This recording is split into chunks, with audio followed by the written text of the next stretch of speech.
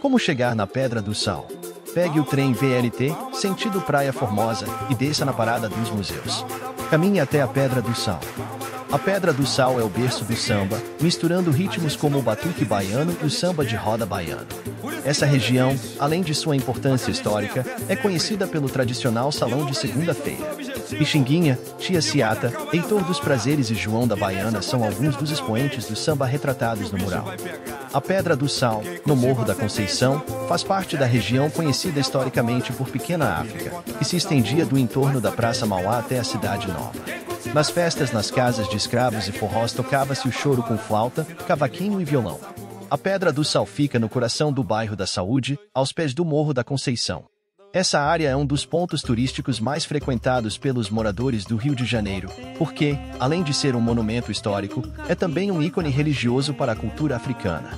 A Pedra do Sal, tombada em 20 de novembro de 1984 pelo Instituto Estadual do Patrimônio Cultural, é um monumento histórico e religioso.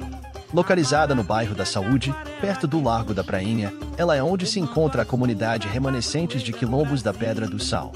Partindo de sua base, no Largo do João da Baiana e subindo por degraus escavados na pedra, pode-se subir para o Morro da Conceição, um local de especial em Forros.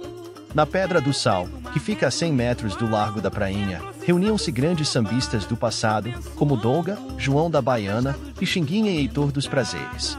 Essa pedra é um local de encontro cultural e religioso, mantendo viva a tradição da cultura afro-carioca. Uma verdadeira joia no coração da cidade.